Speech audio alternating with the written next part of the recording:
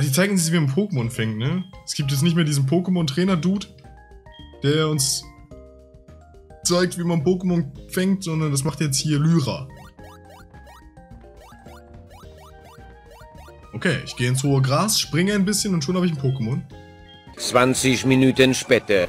Oh, das dauert so lange. 3000 Jahre später. Oh, endlich. Mm. Ja, war gar nicht lang oder so. Gar nicht anstrengend. Pokémon. Wupp, wupp. So, ich würde sagen, wir laufen jetzt nochmal... Oh. Ah, kacke. Visor kommt jetzt in der Nacht gar nicht, ne? Oha. Uh, äh. Wie, hä? Warum, was? Es ist auf einmal Tag? Jetzt will ich aber auch, dass ein Visor auftaucht. Come on. Come on. Visor soll denn nämlich meins, äh, VM-Sklave werden. Hui. Ist es, weil, das ist okay. Ist es kein Teammitglied so sich, so wirklich? Da ist es okay, wenn es weiblich ist. Es hat sich erledigt.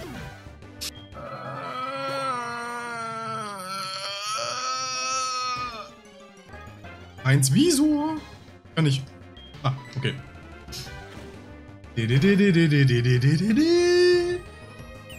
Zum Glück diesmal kein Volltreffer. Das hat mich jetzt getriggert, ey. Heudel. Bälle. Pokéball. Let's werf.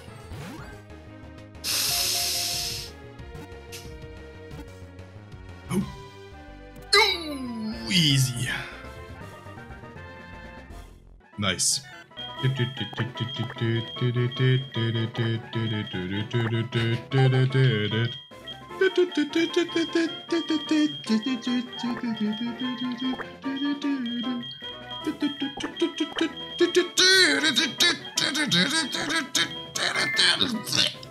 Was nicht eben noch Nacht? Oh, was? Lol. Ich bin eins Magier, Leute. Ich sag's euch. Ibims 1 Magier. oh. So, Leute. Ich würde sagen, das war's jetzt für diese Aufnahmesession. Mich. So, ich hoffe, es hat euch gefallen. Wir sehen uns bei das nächste Mal wieder. das nächste Mal wieder. Out. Rein. Ole Römernin, Freunde. Was geht ab? Willkommen zurück. Ähm, zu Let's Play. Pokémon Hard Gold. Wir müssen jetzt nach Viola City? Ist das Viola City?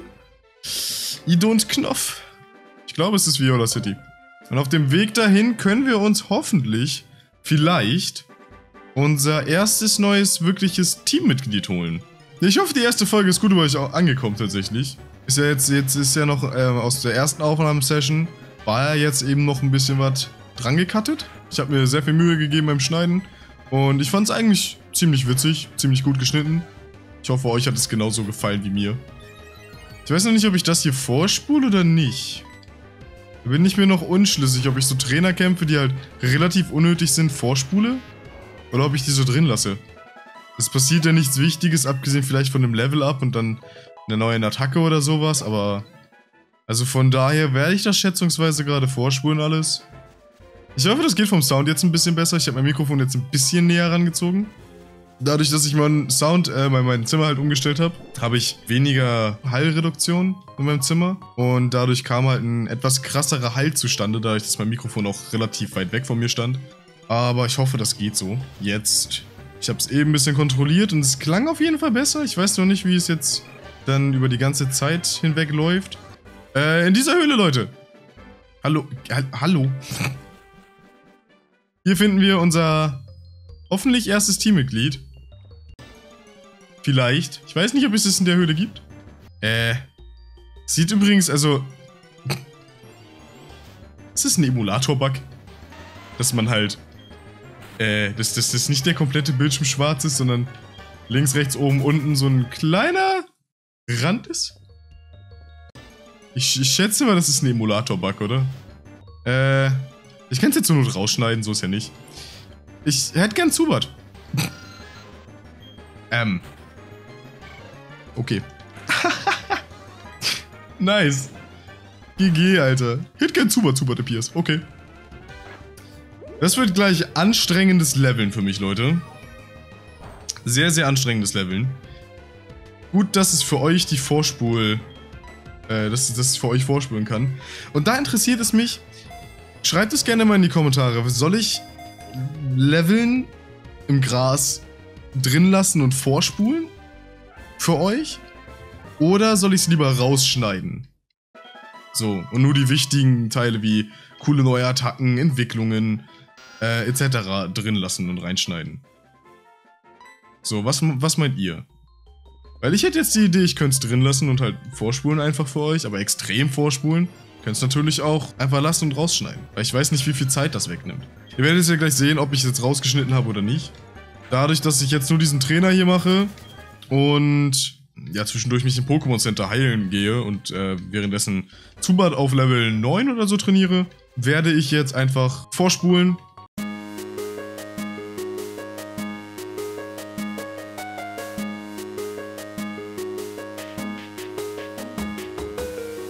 Oh Leute, ähm, Lyra ist da, weil ich in die Stadt gehen wollte, um Zubat zu heilen, alles klar. Äh, oh Doki, äh, du bist nicht schnell, wenn es einen überholt. Doki, dafür bekommst du jetzt von mir. Kampfkamera, okay. Haben wir eine Kampfkamera. Verlauf Pokémon-Kämpfe zu dokumentieren, okay. Alles klar. Weiter geht's mit dem Vorspulen.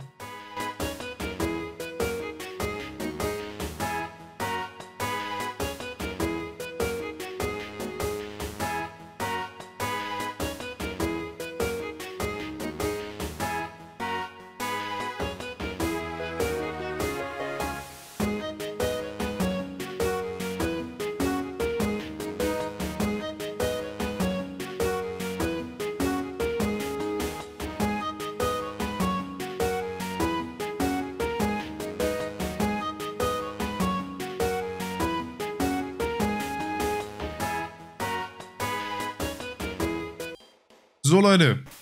Wir haben jetzt Zubat auf Stufe 8 und äh, Vollregel auf Stufe 11. Zubat ist halt, ist halt am Anfang echt noch ein scheiß Pokémon, sag ich mal. Es ist schwer zu trainieren und echt ätzend zu trainieren. Aber es, es lohnt sich. Denn X-Bud ist einfach göttlich. X-Bud ist so ein cooles Pokémon. Da gab es hier nicht Trainer drin? Hallo? Hallo? Okay. Hallo? Irgendwer? Kämpfen? Please? Nee. Nee, okay. Zubat ist noch sehr schwach. Golbat ist okay. Und X-Bud ist halt der Shit. Oh, ich liebe dieses Pokémon so sehr mittlerweile, ne? Das ist unbelievable. Ich liebe es so. Da war ein Zubat um... da war ein Zubat oben im Bild. Wir könnten uns hier einen Nebula holen, theoretisch, ne? Könnten. Wir könnten theoretisch einen Nebula holen. Aber nein, das bringt uns nichts, denn wir können uns später keinen Gengar holen. Leider. Leider, leider. Ah, ich habe die Kampfanimation noch aus. Shit.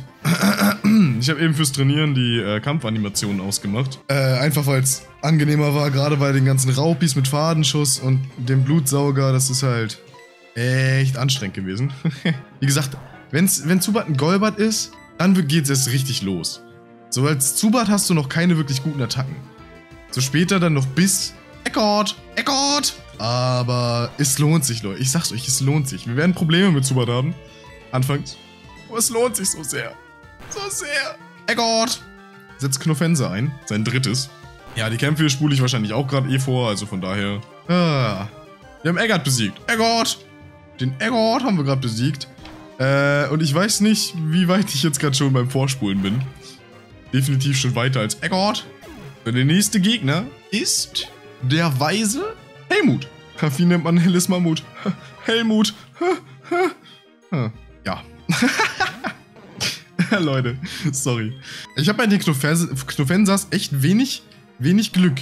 So gut wie immer können sie angreifen, wenn sie verwirrt sind. Das ist echt unlucky, ey. Äh, den Knofenser-Turm würde würd ich ganz gerne mit Zubat eigentlich machen. Es ist natürlich, also eigentlich wäre es schlauer, ihn mit äh, Vollregel zu machen, weil Pflanzen-Pokémon und Vollregel des Feuer und so ergibt Sinn. Ich glaube, ich werde auch, wenn Zubat Level 10 ist, switchen auf Vollregel und dann die äh, Arena mit Zubat machen. Es dürfte mehr Sinn ergeben tatsächlich. Superschall geht so oft daneben, ne? Ich bin froh, wenn Zubat irgendwann Konfustrahl lernt.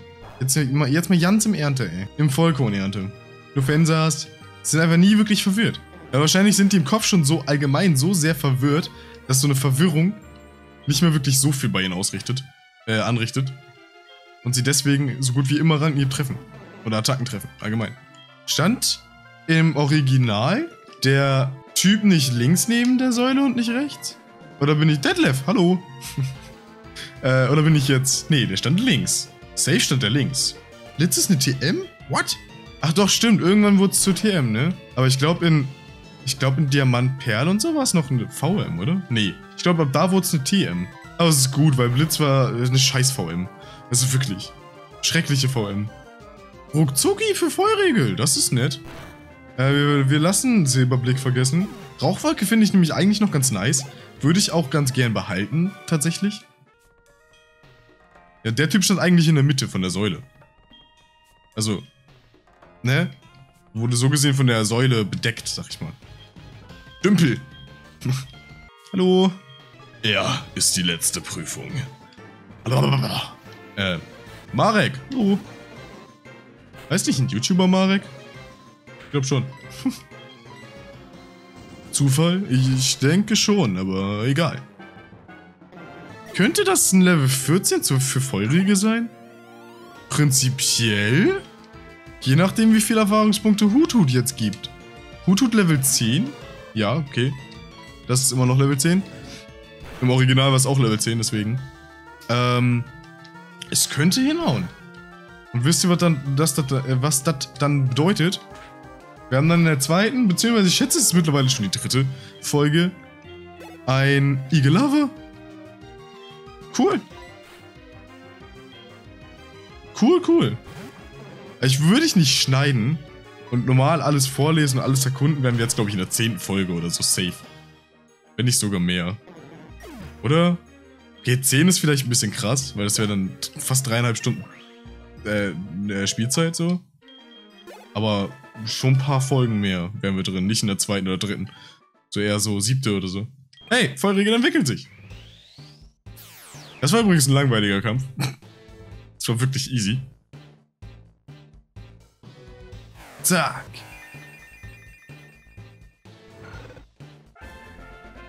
Glückwunsch, dein Vollriegel wurde zu Eagle Lover. Kampfstil ist wahrlich nicht zu wünschen übrig. Hm. Hier, kriegst du TM. Zum Glück endlich eine TM und keine VM. Denn jeder hatte gehasst, Blitz als VM zu haben. Ja, ich stimme dir zu, alter Mann. Stimme dir zu. So, wir haben das Fluchtseil eingecached. Und setzen es auch gleich ein. Nee. So, dann würde ich sagen, ab in die Stadt und dann beende ich diese Aufnahmesession noch erstmal. Dürften jetzt insgesamt zwei Parts rausgekommen sein. Je nachdem, wie viel ich halt wegcutte bzw. wegspeede mit äh, dem äh, Leveln. So, ich habe nämlich da nicht auf die Zeit geachtet tatsächlich. Vielleicht wird es auch nur ein zweiter Part. Naja, ich glaube, ein dritter ist auch noch drin. Oder zumindest ein Teil von drin. Aber gut, ich hoffe, es hat euch gefallen. Wenn ja, bewertet die, Aufnahmes, äh, die Aufnahmen, das Let's Play allgemein. Wir sehen uns bei das nächste Mal wieder. Haut da rein!